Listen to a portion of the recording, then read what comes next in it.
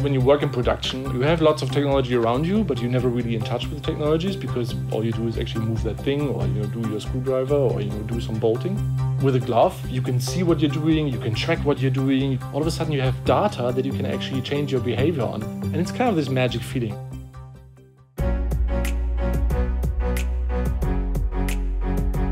Worked in the car factory, I remember that they all have gloves in the production.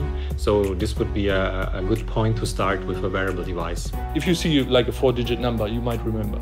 If you see a barcode which has 12, 13 digits, forget it. You will not be able to communicate it to somewhere else or you have to enter it somewhere. Now your hands, you know, they are moving goods anyway and they are working with stuff anyway. So we came up with a Pro Glove who's able with sensoring technologies to pick up information from whatever he's handling by transmitting, by scanning through NFC or whatever. Use that information to monitor what he's actually doing, to train him what he's doing by introducing sensors on the hand of the worker.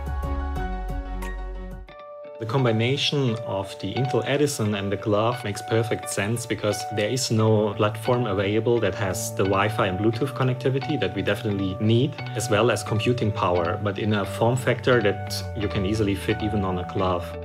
For ProGlove, I see a lot of potential because it's a professional wearable other than consumer devices that you really need to convince the customer to use it every day. The impact that we might have on the future when we introduce a glove and it's going to be successful and people will see what the value will be from the glove and maybe that might unlock the industry sector where they say, you know, wearable technologies, they should play a bigger role in our processes as well.